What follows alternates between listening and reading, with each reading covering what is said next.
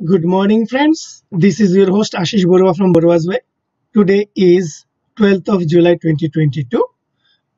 Currency pre market analysis पे आप सभी का स्वागत है please watch till the end to get the most information before you start please like the video as it inspires me to put more effort and make new, better, creative, and effective content for you. Without further ado, let's begin. Dollar index अभी है hundred and point two seven. ये recent highs में है, जो hundred and seven point three zero four zero का resistance था, वो तोड़ के चला गया। और next resistance is hundred and nine point six zero.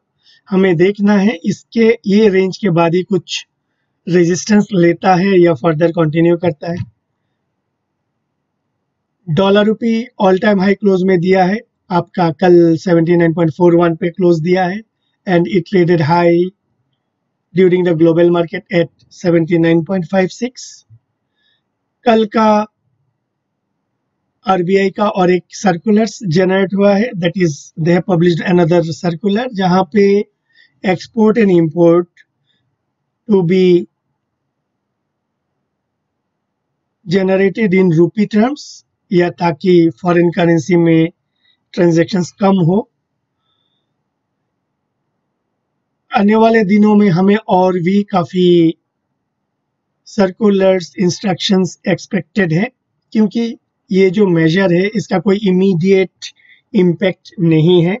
ये करेंटली इंडिया रशिया के साथ यूएई ईरान एंड ऐसे दो चार कंट्री के साथ ही रूपी टर्म्स में पेमेंट्स का अरेंजमेंट्स है। ग्लोबली रूपी टर्म्स में पेमेंट अरेंजमेंट करना इतना जल्दी पॉसिबल नहीं है। इसके लिए काफ़ी टाइम ज़रूरी है। Plus we need to see whether the global counterparts are ready to trade in rupee terms और नॉट रेस्ट अपार्ट हमें और भी policy measures policy changes expectations है, क्योंकि the demand for rupee subside होने का नाम ही नहीं ले रहा है। प्लस कल थर्टीन ऑफ़ जुलाई यूएससीपीआई है। मार्केट बराबर यूएससीपीआई डेटा के ऊपर नज़र गाड़ के रखे हुए हैं। उसके डेटा के बेसिस पे मार्केट और भी ज़्यादा वॉलेटाइल होने का प्रोबेबिलिटीज़ है। जीबीपी डॉलर कल एक अच्छा खासा सेल अप हुआ है and it traded in between 1.2036 and 1.1867 कल का जो सेल ऑफ़ था, ये पिछले तीन दिन का जो कंसोलिडेशन था, उसके नीचे चला गया है। And that being the case हमें और भी ज़्यादा सेल ऑफ़ दिख सकते हैं।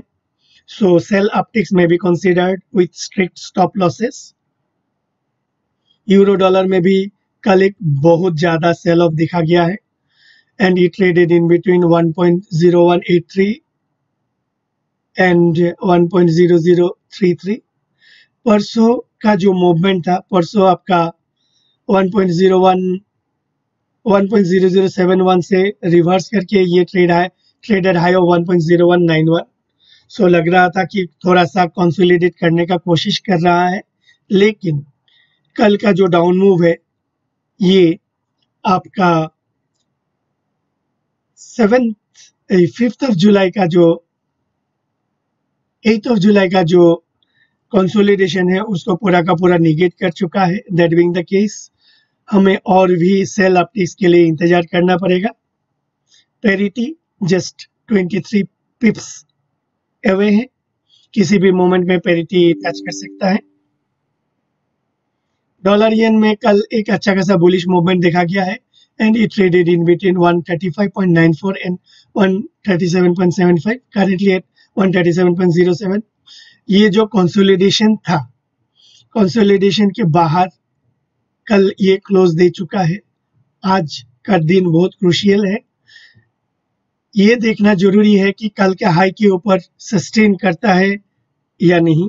अगर कल के हाई के ऊपर सस्टेन करने में कैपेबल है then we may expect some recent swing high fresh high in this particular instrument अगर ये fail to sustain above the high of 11th of July and ये रेंज के अंदर में चला जाता है तो फिर अगेन ये कंसिलेशन रेंज के अंदर में आ जाएगा। और अगर फेल होता है then there are higher probabilities कि ये बहुत जल्दी 134.50 की तरफ़ आ सकता है। जीबीपी आईएनआर में कल एक अच्छा खासा सेल ऑफ़ देखा गया and it traded in between 95.43 and 94.42 ये यूरो डॉलर नीचे की तरफ़ जा रहा है, लेकिन डॉलर रुपी का जो स्ट्रेंथ है, उसके लिए ज़्यादा डैमेज यहाँ पे दिख नहीं रहा है यूरो आईएनआर पे। हमें ये केयरफुली मॉनिटर करना है प्राइस सेक्शन को at this particular critical support zone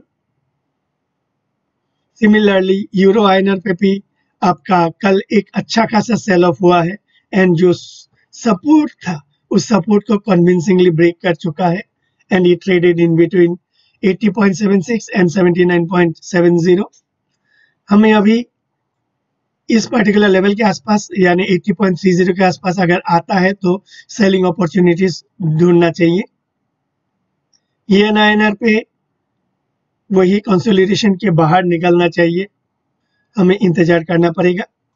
dollar yen dollar candy पे ये कंसोलिडेशन बरकरार है। आपका एट जुलाई के लो के नीचे कंटिन्यू दे नहीं पाया।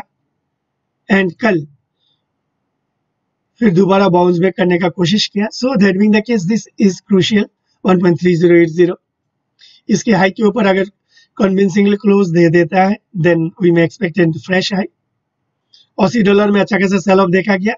And it traded in between 0.6714 and 0.6854 and ये कन्विंसिंगली ये रेजिस्टेंस एंड दिस पर्टिकुलर ये support and this particular support को कन्विंसिंगली ब्रेक कर चुका है यहाँ से जो बाउंस बैक किया यहाँ पे रेजिस्टेंस लेके फिर दोबारा नीचे आ चुका है सो so, अभी 0.6850 is expected to act like a good resistance level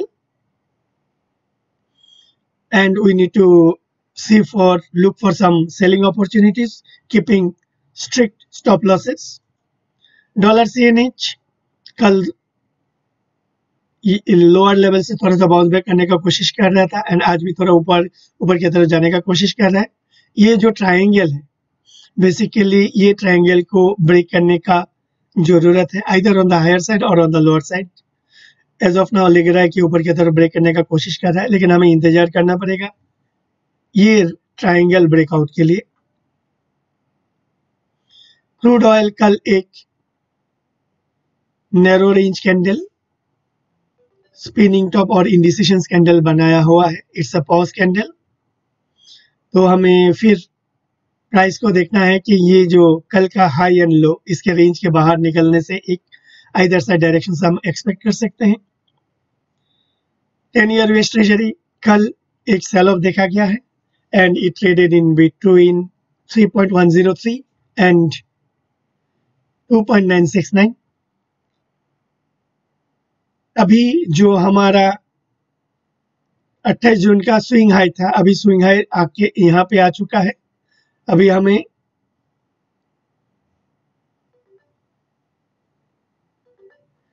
ग्यारह जुलाई का, यानी कल का स्विंग हाई के ऊपर क्लोज देना नहीं चाहिए। अगर ये क्लोज देगा तो ये लोअर है लोअर लो फॉर्मेशन का निगेट कर जाएगा। अभी हमें देखना है कि ये इसका low that is six July का लो को तोड़ता है या नहीं तोड़ता है। लेकिन लगता नहीं है कल के सीपीआई डेटा से पहले कुछ मेजर मूवमेंट होगा। Market will wait and watch for tomorrow's US CPI data currency pre market analysis अभी के लिए इतना ही। If you like this video then make sure to like share subscribe and comment down below your thought about this video it help out greatly thank you again this is Ashish Barua from Barua's Y signing off